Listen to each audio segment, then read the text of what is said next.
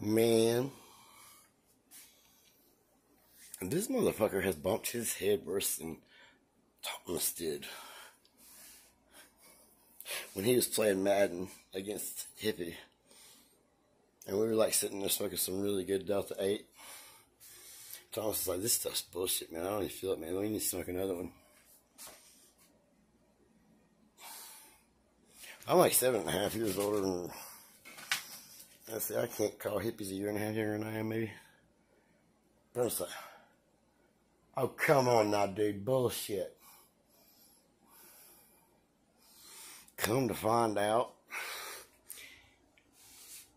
he was way ahead of the curve, so he got he he hung out ahead of the curve, and uh, he let it he had let it go to his head. Is what happened there. So like he's focused. He's all right for a minute. But then hippie scores at the end of the drive.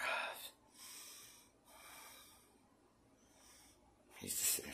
Oh, you think you got me? You think you watch this right here? This motherfucker gets so goddamn lucky.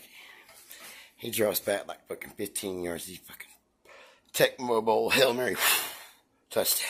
One play. Oh my God, the shit he talks.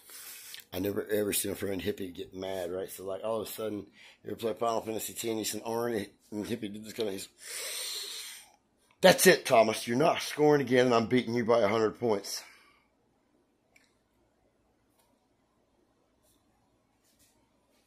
You'd have to know this dude. Thomas never scored again.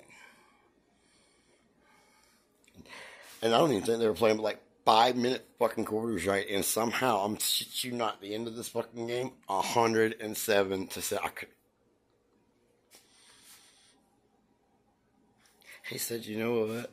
I think that was pretty good at you, little prick." Ah, oh, better days.